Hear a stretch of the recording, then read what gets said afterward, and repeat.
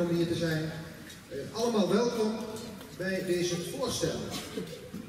Iedere twee jaar houden we met alle kinderen van de school op één dag een culturele dag. We dus dansen in school gehad en vandaag was het drum voor fun. Of ik moet eigenlijk zeggen, vandaag is het drum voor fun, want het hoogtepunt van de dag komt nog.